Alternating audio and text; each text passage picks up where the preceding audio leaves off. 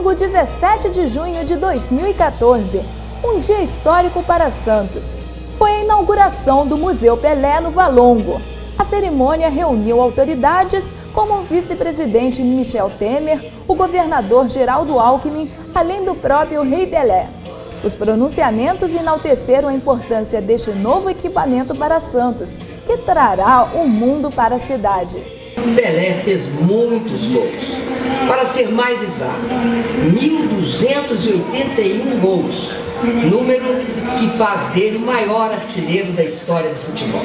O número de gols impressiona, mas como dizia Carlos Drummond de Andrade, o difícil, o extraordinário, não é fazer mil gols como Pelé, é fazer um único gol como Pelé. 1958 portanto, há 56 anos, um rei, quando Pelé foi coroado nos campos da Suécia. Então, parabéns, Pelé? Uma grande alegria. Naquela época, ninguém conhecia o Brasil. Hoje, na inauguração do meu museu, nós estamos fazendo a Copa do Mundo aqui e todo mundo está voltado para cá. Então, senhor prefeito, É, é, é, realmente é um presente de Deus. Então, pode estar certo, prefeito, que Deus está abençoando a nossa cidade. Foi daqui que eu saí. Muito obrigado.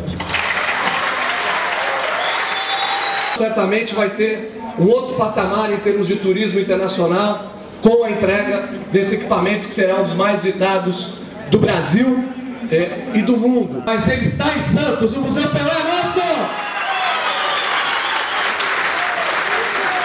Terá uma repercussão não apenas nacional, mas internacional, e eu vejo que está marcado para o futuro, porque daqui a 100 anos, Pelé, daqui a 200 anos, quando alunos de escolas médias e superiores vierem a Santos e visitarem esse museu, vão verificar que o seu nome está inscrito definitivamente na história do Brasil.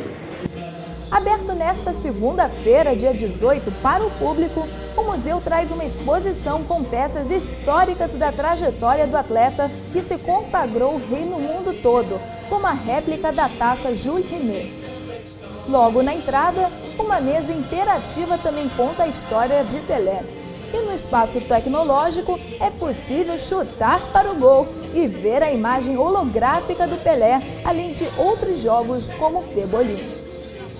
Santistas e torcedores do Brasil afora podem visitar o Museu Pelé de terça a domingo, das 10 horas da manhã às 6 da tarde.